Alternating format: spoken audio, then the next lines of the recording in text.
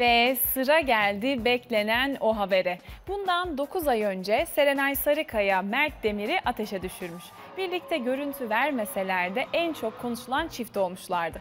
Bildiğiniz gibi haklarında reklam ilişkisi iddiası ortaya atılmıştı. Bu iddiaları yalanlarcasına dudak dudağa görüntülendi ünlü çift. Bomba, bomba, bomba.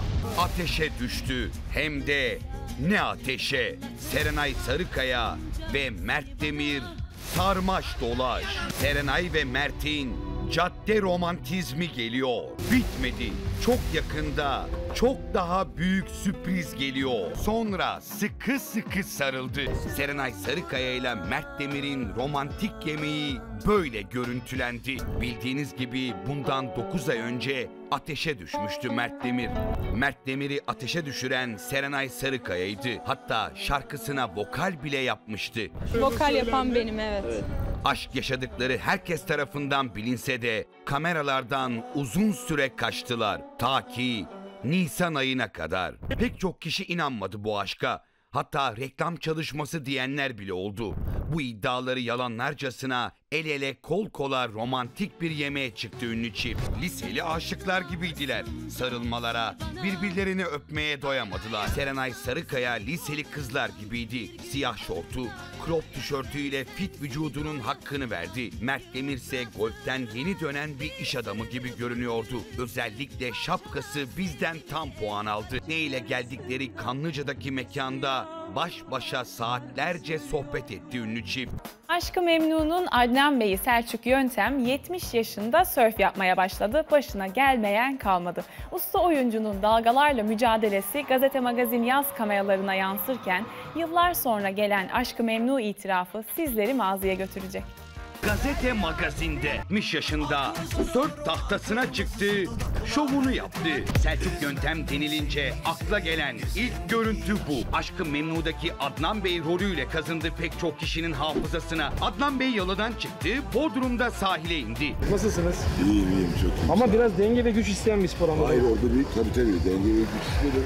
Rüzgar azal aniden çoğalınca e, biraz şey yapıyor. E, Yaz aylarını orta kentte geçiren Selçuk Yöntem birkaç senedir sörf yapmaya merak sarmış. Ancak tahtanın üzerine çıkmak biraz zor. Yok yok yok.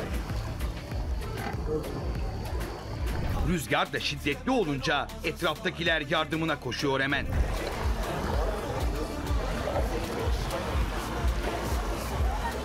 Biraz destekle de olsa Selçuk Yöntem sonunda başarıyor sörf tahtasına çıkmayı. Ama sonuç yine hüsran. Baktı ki olmayacak.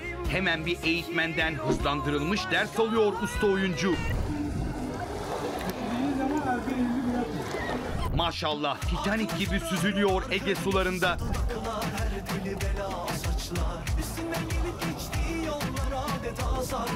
Bakın bakın nasıl da şovunu yapıyor 70 yaşındaki Selçuk Yöntem. Maşallah diyelim de nazar değmesin. Maşallah da dedik oysa ama yine nazarımız değdi. Titanic gibi süzülüyor dediğimiz Selçuk Yöntem bir anda Titanic gibi suya gömüldü. Hem deniz hem rüzgar yordu ünlü oyuncuyu. Çıktı sörf tahtasının üzerine oturup bekledi botun gelmesini. Kıyıya dönecek mecali kalmadı. orada ters rüzgar vardı. Benim. Geçen ara verdim. Bir yıl yapmadım. Gayet iyisiniz ama. İyisiniz iyisiniz. Maşallah. Hop atladı bota döndü kıyıya. Merak etmeyin kıyıya çıkar çıkmaz herkesin aklındaki soruyu soracağız. Bildiğiniz gibi yazın gelmesi için Fedon'un suya düşmesi ve Aşkı Memnu'nun başlaması lazım. Her ikisi de oldu. Peki nedir Aşkı Memnu fanlığı durumu? Finalinden 14 sene sonra bile nasıl ilk günkü gibi izleniyor? E yani dünyada bir ömrü yok herhalde 14 yıldır. Evet. Her yıl tekrarlanıp reytinge giren e, bir dizi herhalde yoktur. E, bir büyüsü var, bir peritosu var aslında. Herkese değerlendiriyor. Serdar Ortaç'ın annesi Nesrin Ortaç, oğlunun sağlık sorunları hakkında ilk ve son kez konuştu. Nesrin Ortaç, oğlunun evlenmesini neden istemiyor? Merhabalar diyelim. Röportaj yok demişler.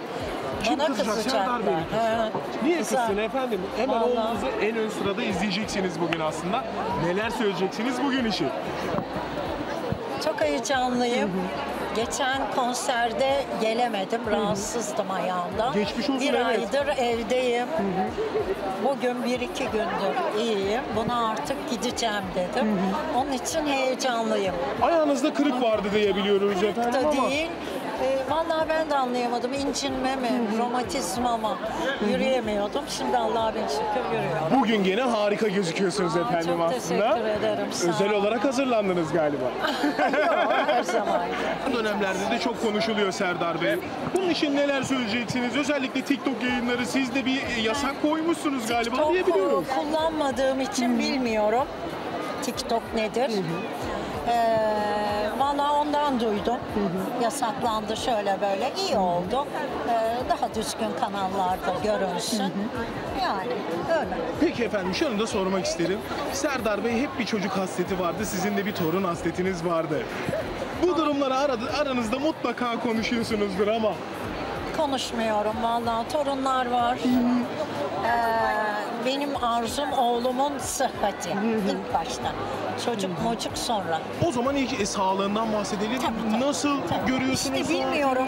Şimdi göreceğim. Evet gene birazcık yürümekte zorluk çı- e, çekiyor. Arabadan inerken biz de gördük ama. Bugün mü? Evet. Bugün mü? Geldi mi evet. şimdi? Geldi. Az önce geldi içeri. Hayır bugün bilmiyorum size bahsetti mi? Ee, gene ayağına bir şey düşmüş. Nazar, nazardan kurtulamıyoruz. Nazardan mı kurtulamıyoruz? O, ben nazar diyorum. Ayağına ne düşmüş efendim? Size söylemiş, bize daha söylemedi Serdar Bey ama. Benim söylemem olacak? Şu anda sizden duyduk aslında. Olur mu? O söylesin. Çok önemli bir şey yok ama galiba. Yok herhalde. Peki şunu da sormak Yok, isterim. Serdar. Bey'in tekrardan evlenmesini ister misiniz? Yok. Neden? Yok yani evlilik çok zor. Çok zor. Yaşadığım için biliyorum. Evlenmesin, üzüntü yaşamasın. Ee, ama böyle işte birliktelikler yaşasın. Biraz şeyi gelsin. Söyle. Havası mı yerine Havası gelsin, diyorsunuz? eğlensin, geçsin. O daha güzel. Hayat geçici. Ee, bizler yaşadık onu, zor yaşadık. Serdar Bey de aslında zorluklarını çekti evliliğin efendim. Siz o, o günlerden yorumlarınız ne olacak? Serdar Bey'le konuştuğunuz zaman size neler anlattı? Hiçbir şey anlatmaz. Bir şey anlatmaz. fazla. Özellikle biliyorsunuz ki nafaka olayları çok da konuşulmuştu. Evet evet ama onlar geçti artık. Bütün yaptı vazifesini oldu bitti ikisi de. Artık onun konuşmanın bir anlamı yok yani. Hep de Serdar Bey biliyorsunuz ki borçları özellikle çok gündemdeydi. Bitti mi artık borçlar? Onu soralım. Bitti. Bitti. Bence bitti. Bence bitti evet. Bitmesi lazım. Evet. Lazım. Bu alkollü olayların görüntülerini gördüğünüz Yok. zaman ne istedin? Şimdi göreceğim. Bırakıyorum, bırakıyorum dedi ama. Doğru, doğru. Eğer bunu yapmışsa gerçekten büyük adam ve verdiği sözü de yapar. Çünkü öyle bir konuştu ki ben inandım. Size özel bir söz verdi mi bu konuda? Ben ona inandım. Konuşamadım ki ben onunla. O konulara da girmem. Girmem. Uzaktan bakarım böyle. Tavsiyemi yaparım. Ne tavsiyelerde bulundunuz bu zamana kadar Serdar Bey? Ben onu hep konuşurum. Benim hayatta hiç sevmediğim alkol zaten. O da biliyor. Nasıl böyle bir şey e, oldu ben onu bilmiyorum. Bu camia demek ki öyle icap etti öyle oldu. İnşallah bundan sonrası düzgün olsun. Sıhhatine baksın. Böyle güzel konserler versin. Halkın gözünde bir numara olsun. O kadar.